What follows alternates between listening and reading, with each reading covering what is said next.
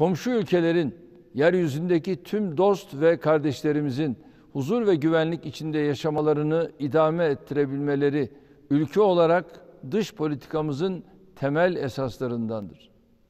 Tarih boyunca ne ecdadımız ne de biz başka ülkelere ve halklara asla çıkar nazarıyla bakanlardan olmadık.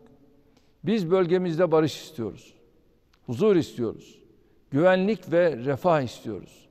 Bölgemizdeki hiçbir ülkenin iç işlerinde de topraklarında da gözümüz yok.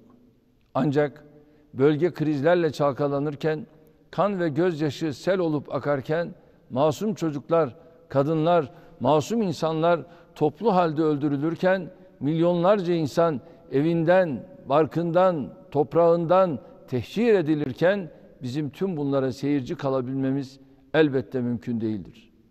Tarihimiz, ecdadımız ve aziz şehitlerimiz millet olarak bizlere böyle bir mesuliyet, böyle bir miras bırakmıştır.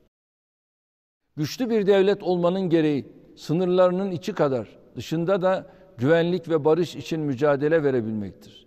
Tarihimiz boyunca olduğu gibi bugün de büyük ve güçlü bir devlet olmanın gereğini yerine getiriyor. Hem içeride hem dışarıda umutları daha da çoğaltmanın mücadelesini veriyoruz.